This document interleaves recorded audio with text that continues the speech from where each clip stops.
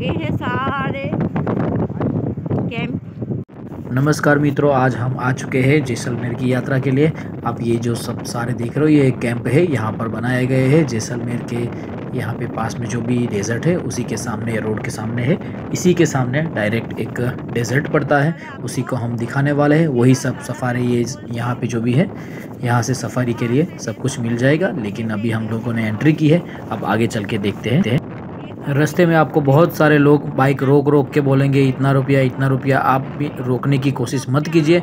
आप अगर रुकेंगे तो आपको बहुत ज़बरदस्ती करेंगे, जल्दी जल्दी से ये ऑफ़र ले लो, ये ऑफ़र ले लो, और आपको मना करने में बहुत दिक्कत आएगी। कभी कभार पुलिस वाले जैसे कपड़े पहन के बाजू में रहते हैं और वहाँ पे कोई हाथ रोकता है तो आप रोक देते हो, ऐसी गलती भी मत करिए। और आपको कोई भी सफारी या कैंपिंग का जो भी बुकिंग करवाना हो, यहाँ पे ऑन द स्पॉट आकर ही करिए। नहीं तो आपको आगे जाने की संभावना बहुत है। इस वक्त हम जो देख रहे उसे सम डेजर्ट बोलते हैं और ये जैसलमेर से बहुत दूर है। वहाँ से यहाँ तक हमको बाइक या कार करके आना पड़ता है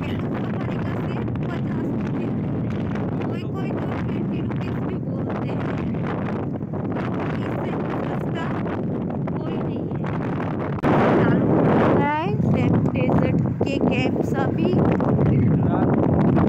एक गुजरात का है कोई? गुजराती है? गुजराती रेस्टोरेंट है। पर ऊँट की सवारी के लिए भी पहले से कितना है रिटर्न राउंड का सब कुछ प्राइस नक्की कर लीजिएगा, क्योंकि बाद में आपको दिक्कत आ सकती है। जब ऑफ़ सीज़न रहता है तो ये लोग बीस रुपये में भी ऊपर तक ले जाने के लिए आपको बोलते हैं, लेकिन आपको खुद को ध्यान रखना चाहिए कि बेचारे ऊँट की क्या हालत होगी, ज़्यादा लोग ना बैठे। तो यही सब डेजर्ट है जो आप सामने देख रहे हो। यही पूरा डेजर्ट है। इसी के ऊपर आपको कैमल के ऊपर बिठा करके लेके जाया जाता है। और इसके पीछे ये सब झाड़ी झाखरा जो लगे हुए हैं, ऐसे झाड़ियाँ रहती है। यही सब रहता है। इससे ज़्यादा घना जंगल जैसा रहता है। वही सब रहता है। बाकी पास में बॉर्डर है, ऐसा बोलते हैं। लेकिन वहाँ पे जाने की कोई ज़रूरत नहीं है। जंगल में जाने के बाद बहुत लोगों का कार वालों से या ऊँट वालों से झगड़ा होता है। प्राइस को लेकर के क्योंकि ये लोग पहले कुछ और बोलते हो और बाद में कुछ और बोलते हैं। इसका खास ध्यान रखें। इस तरह की ट्रॉली भी आती है वो भी मज़ा आता है इसमें भी जाने का। जब आप बड़ी फैमिली में हो तो ये ट्रॉली बहुत काम आती है। हमने जब सम डेजर्ट में एंट्री की तो हमने सबसे पहले यहाँ से कुछ लिया नहीं और लास्ट में चले गए कि कहाँ तक ये डेजर्ट पड़ता है। और आखिरी जो कैंपिंग साइट रहती है वहाँ से फिर रिटर्न आए। सब नज़ारा लेने के बाद हमने ऊँट पे सवारी की वहाँ से हमने सबसे ऊँची चोटी पर जाना पसंद किया। हम्म।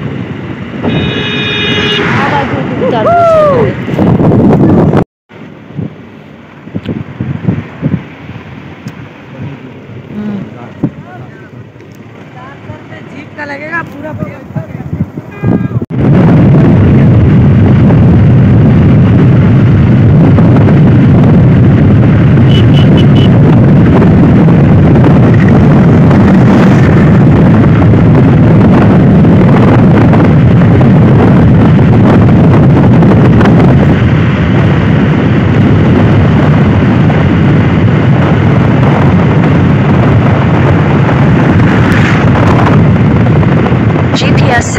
Lost.